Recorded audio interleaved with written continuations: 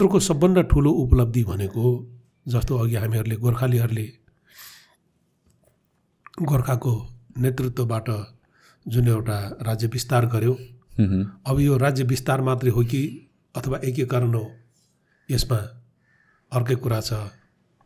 अब हामीहरूले पढ्दै आएको कुरालाई लिने हो भने त्यो एकीकरण थियो। जानेर होस् अथवा नजानेर होस् हामी त्यतातिर वाद विवाद गर्नतिर नलागौँ। यत्रो विशाल नेपाल त खडा भयो नि। यो विशाल नेपाल खडा हुनुको पछाडि त्यो तन्त्रको शक्ति पनि थियो। तन्त्रको प्रयोग पृथ्वीनारायण शाहले नगरेको भएदेखि सैनिक शक्तिले मात्र त उनले जित्ने थिएन। तन्त्रको एउटा ठुलो उपलब्धिको एउटा साह्रै सुन्दर उदाहरण यसलाई लिन सकिन्छ। अझ अब यो कुरालाई हामीले मान्ने कि नमान्ने यो विज्ञान हो कि होइन? अथवा खालि सुपरस्टिसन मात्रै हो? जस्तो पृथ्वीनारायण शाहले कतै आक्रमण गर्न जाँदाखेरि उनले आफ्ना तान्त्रिक पण्डितहरूलाई ए बाटो छोट्याउने मन्त्र गर। पनि भन्थे। बाटो छोट्याउने मन्त्र त अहिले पनि एउटा कथाको रूपमा अब तान्त्रिक धर्मको बारेमा कुरा गर्नेहरू पुरोहितहरूको बारेमा चल्ने गरेको पनि पाइन्छ। यो बितिसकेको कुरा भनेर कसै कसैले अहिले पनि गर्छ भन्छन्। अब त्यसमा विश्वास गर्न सक विश्वास गर्ने नगर्ने आफ्नै ठाउँमा छ।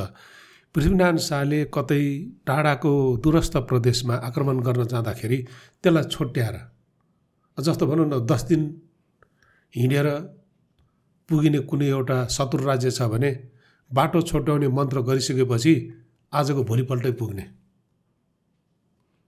उनले त्यो मन्त्रको पनि प्रयोग गरेका थिए भन्ने भनिन्छ। अब त्यसमा त्यो बाटो छोट्याउने मन्त्र प्रयोग गर प्रयोगको जुन कुरा आयो त्यसको अस्तित्व छ कि छैन? त्यो साँच्चैको हो कि होइन? अब यदि हो भने यस्ता कुराहरू त त्यसको प्रयोग गर्ने सिद्धतान्त्रिकहरू उनीहरू बितेपछि उनीहरूसँगै मरेर गयो नि त।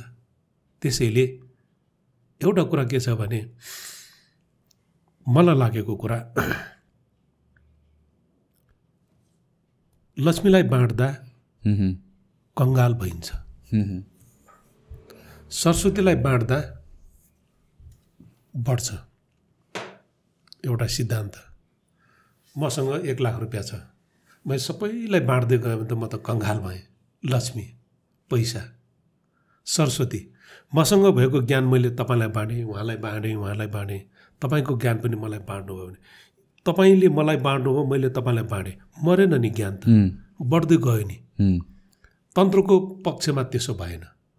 त्यो तन्त्रको ज्ञान हाम्रा पूर्वजहरूले हामीले पूर्वजहरूलाई दोष दिन त खोजेको होइन। परम्परा त्यस्तै चलेर आयो। रीत नियति त्यस्तै नै हुँदै आयो। तर त्यसले एउटा के के भने हजारौँ वर्षदेखि जुन एउटा तान्त्रिक परम्परा समृद्ध भएर आएको थियो त्यो परम्परा भने सुनाउनु हुँदैन भन्न हुँदैन देखाउनु हुँदैन भन्ने जुन एउटा परम्परा चलेर आयो त्यसले गर्दाखेरि त्यो विद्या नै मरेर गयो। त्यो परम्पराको रूपमा कुनै न कुनै रूपमा छ। तर त्यसको जुन एउटा प्र्याक्टिस छ सही प्र्याक्टिस छ त्यसको उपादेयता त्यो चाहिँ इतिहासको गर्भमा मात्रै सीमित रह्यो।